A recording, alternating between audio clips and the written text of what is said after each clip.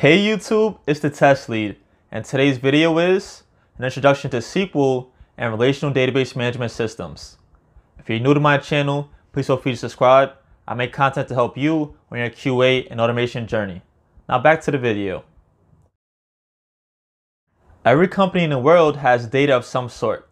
This could be product information, customer information, or just simply logs. So how can a company safely store, access, and modify this data? That's where SQL and relational databases come in. This video will cover what is a table, what is a relational database, and what is SQL. First off, what is a table? We are starting with the most basic unit first, and then we're going to build on from there. Think of a table as a container, and you store a bunch of related information there in a specific format. So for example, let's say at home in your drawer, you may have a, a sock drawer. So in that drawer or that container, you have a bunch of socks. You're gonna store it in that drawer. Think of a table the same way. And as I said, it has a specific format. So the format is each table has vertical columns and horizontal rows. Each row of data is a unique record. Each column represents a field that should exist for that record. And each table has a unique name so we can find it in a database. And the name of that table should somehow describe the information that's stored in the table. Look at this example here. The table name is students, and that will describe the information that is inside the table. From there, we have our header for each column, which states the information located in the column. We have STDID, which is a student ID, name, and city.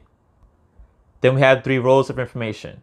Student ID 201, name of Bob, and city of Hyderabad, all part of one record or row. Next up, primary keys. As I stated previously, each record in a table should have a unique value. To ensure this, we have a primary key on at least one field in the table. No two rows can have the same exact primary key value. This is how we ensure the uniqueness. And the next part tables will cover is data types. Next, you might be thinking about what type of data types can each field have in our table. Some examples of values include numbers, text, booleans, and timestamps. Now that you have a better understanding of what tables are, you may be thinking, well, where are these tables stored? As I mentioned previously, databases. And more specifically, relational databases. So next, what is a relational database? Relational database management systems are one of the most popular database management systems out there. That's because they manage relational databases, which are the most popular type of databases. So see how they work together? So first we had our containers where we store information called tables, and now we're going to store one or more tables in a central location called the database. A relational database management system serves as an interface or middle person between an end user and a database. An end user is you, me, or anybody trying to access a database. In a database management system, you can create, store, retrieve, and run queries on a database and information in it. These are some of the most popular relational database management systems. And now you may be thinking, why do I need to save in a fancy database, as I mentioned previously, versus a simple Excel file. Let's get more detailed about that. Using a relational database management system not only gives you a way to interact with the information, but also helps to provide data security, integrity, and uniform procedures. Other benefits over Excel files or flat files include concurrency. In file systems, there's no control over multiple users accessing the same data at the same time. Multiple people updating the same data at the same time can lead to corrupt data. Relational database management systems allow users to work concurrently to access the data without problems. Another benefit, you can use SQL, which we'll get to next, to interact with databases and tables. You'll see this is a very good positive.